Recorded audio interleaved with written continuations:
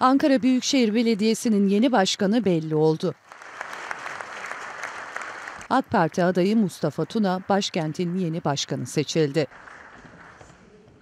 Melih Gökçe'nin istifasıyla boşalan belediye başkanlığı koltuğu için bugün Ankara Büyükşehir Belediye Meclisi'nde seçim yapıldı.